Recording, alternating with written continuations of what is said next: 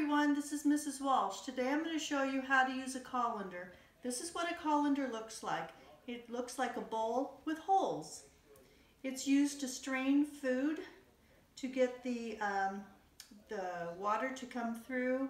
If you were rinsing vegetables, um, if you were doing pasta, you would put pasta in here and the water would drain right through. So I'm going to show you, I have it in, in different sizes, so to give you an example. This one here is a small size with holes. I'm going to drain the juice out of these peaches. See how it comes through? That's how you would drain the liquid so the peaches don't have liquid on them anymore.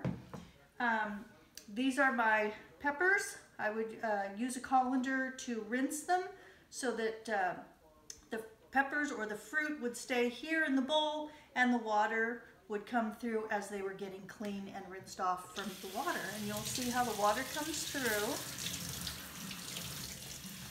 It rinses either fruits or vegetables, whatever I'm preparing, and it cleans them and all the dirty water runs right through.